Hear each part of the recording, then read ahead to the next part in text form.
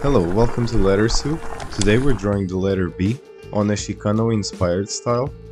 I'll start by sketching a quick guide for the letter. Main inspirations for this style I would say the K2S crew, mainly Big Sleeps, Norm.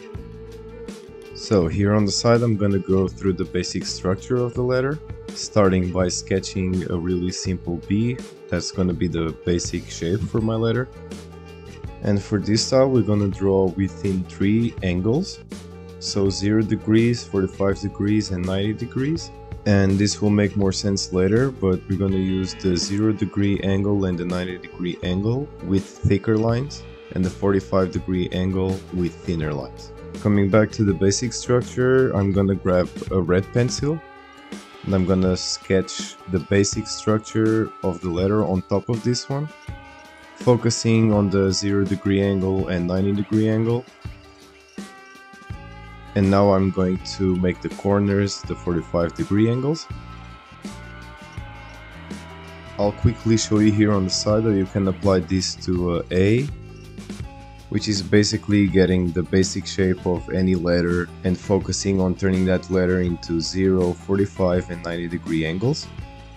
As you can see with this A and this E. Coming back to the letter, dividing it horizontally, not in the middle, a little lower. I will make some details, like some spikes. I'll show you here on the side how I also go over the corners. I'll basically make the bottom corners coming out of the letter, out of the base of the letter, and then coming back again, like you can see here.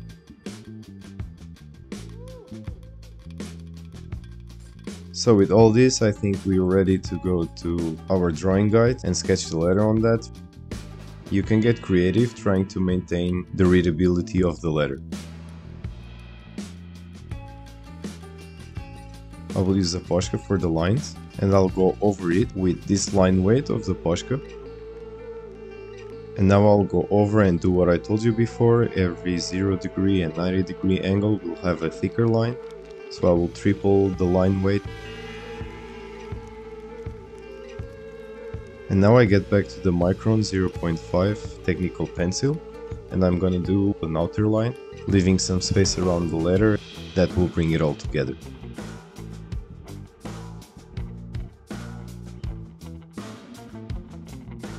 On the down facing parts of the outer line, I make the line thicker and stronger Get creative, apply these to other letters, and soon you will have your own ABC in this style. Thanks for watching, I'll see you on the next letter soup.